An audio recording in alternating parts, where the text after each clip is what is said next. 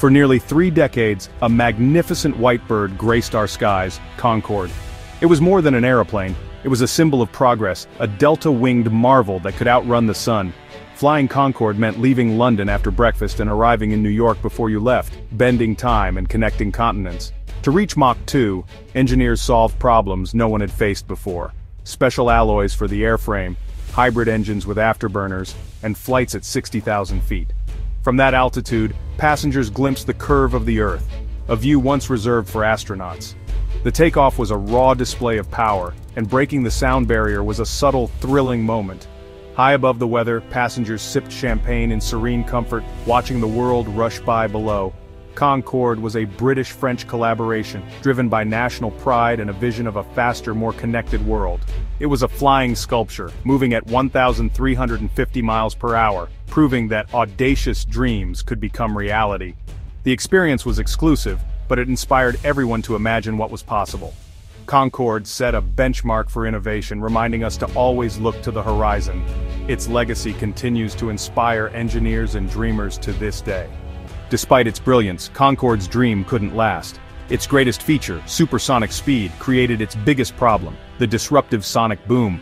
Many countries banned supersonic flight over land, limiting Concorde to transatlantic routes. Operating costs were astronomical, it burned fuel at four times the rate of a 747, making tickets a luxury. Maintenance was complex and expensive, with only 14 jets ever built.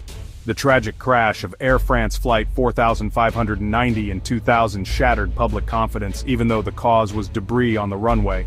The fleet was grounded for over a year, and the perception of risk lingered. After 9-11's air travel declined, and Concorde's economics no longer made sense. In 2003, Concorde made its final flight, marking the end of an era. For the first time, aviation took a step backward in speed. Its demise was a mix of environmental concerns, high costs, and tragedy. Concorde taught us the challenges of supersonic flight noise, cost, and environmental impact. Its story became a blueprint for future innovators. Concorde's retirement left a void, but not the end of the dream.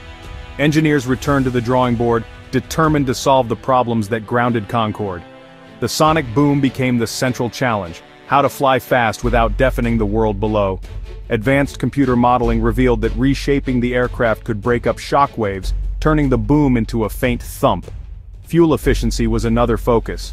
Lighter composite materials and modern engines promised far better performance. A lighter jet needs less thrust, burns less fuel, and becomes economically viable. Sustainability became essential. New jets must be cleaner, not just faster.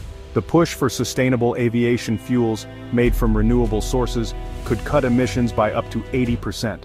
By combining lighter airframes, efficient engines and cleaner fuels, a sustainable supersonic future began to take shape. The dream was reborn, this time with the lessons of the past. Enter Boom Supersonic, leading the new era with its Overture jet. Overture aims to carry 6580 passengers at Mach 1.7, having travel times. London to New York in 3.5 hours. Unlike Concorde, Overture is designed for sustainability and affordability, with ticket prices similar to business class. Its Symphony engine is quieter and more efficient, eliminating noisy afterburners and reducing airport noise. Overture will fly supersonic only over water, avoiding sonic booms over land. Boom is committed to net zero carbon running on 100% sustainable aviation fuel. Major airlines have already placed orders showing confidence in this vision. Meanwhile NASA's X-59 Quest tackles the sonic boom problem directly, its long nose and sculpted wings are designed to create a sonic thump no louder than a car door. NASA will fly the X-59 over communities to gather data on public perception. If successful, this could change regulations and open up new supersonic routes over land. A New York to LA flight could take just a couple of hours. The X-59 isn't just a plane, it's a test of an idea that could reshape air travel. While the West revives supersonic travel, China looks to hypersonic flight, beyond Mach 5. The Eaglehawk concept envisions connecting Beijing and New York in just two hours. It's a two-stage system.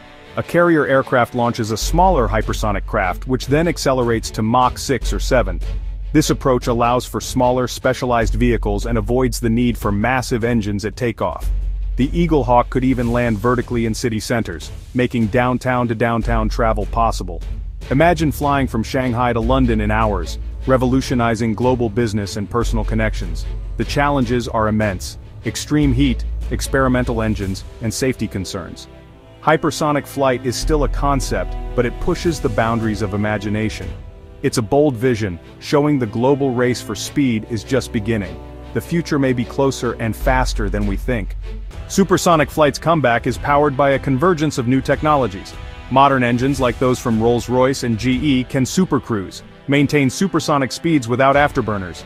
Advanced materials such as ceramic matrix composites make engines lighter and more efficient. Carbon fiber composites allow for lighter, stronger airframes and more aerodynamic shapes, reducing fuel use and sonic booms. Sustainable aviation fuels made from waste or captured carbon can cut flight emissions by up to 80%. These fuels work in existing engines making speed and sustainability compatible. Powerful computing accelerates design engineers can simulate thousands of designs virtually, perfecting aerodynamics and structure. This digital approach slashes development time and cost, opening the market to new innovators. The combination of quieter engines, lighter materials, cleaner fuels, and advanced computing is making supersonic flight possible again. It's not one breakthrough but many, working together. The dream is becoming reality. Supersonic and hypersonic flight promise to shrink our world, not just our travel times. Crossing the Atlantic in three hours or the Pacific in four will erase old barriers. Business, medicine, and personal connections will move at the speed of imagination. Families separated by oceans could see each other more often. Long-distance relationships become manageable. Lunch in Paris, dinner in New York, no longer a fantasy, but a real possibility. This new age of speed could foster global understanding and empathy. Challenges remain, safety certification, economic viability, and scaling up sustainable fuels. But aviation's history is one of overcoming the impossible. We stand on the edge of a new golden age, powered by cleaner, quieter, smarter technology. The ambition of Concorde lives on, now guided by experience and innovation. Supersonic flight is about more than speed.